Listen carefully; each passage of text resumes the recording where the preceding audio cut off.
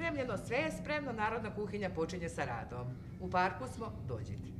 U Narodnoj kuhinji Crvenog krsta Stara Pazova nakon skoro dva meseca ponovo je počela podela kuvanih obroka. U toku vanrednog stanja od prvog trenutka kada su nadležni procenili da nije bezbedno kako za korisnike tako i za zaposlene bila je zatvorena, ali je u tom periodu oko hiljadu korisnika socijalne pomoći dobilo namirnice i lanč pakete. Ponovnom otvaranju Narodne kuhinje prethodile su bezbednostno-higijenske pripreme. Izvršili smo dezinfekciju svih naših prostora u svih 11 na svih 11 punktova u svim znači mesnim zajednicama.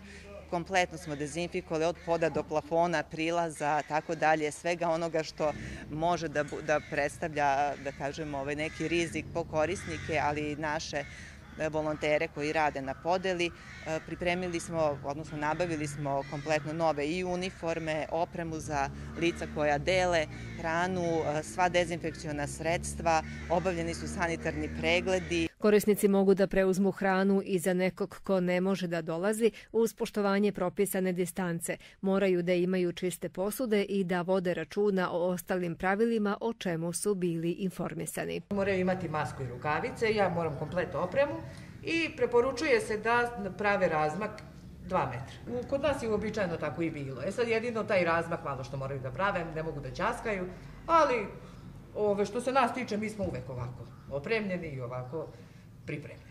Na 11 punktova u mestima Staropazovačke opštine pripremljeno je 674 obroka, s tim što se broj korisnika revidira na svakih 15 dana.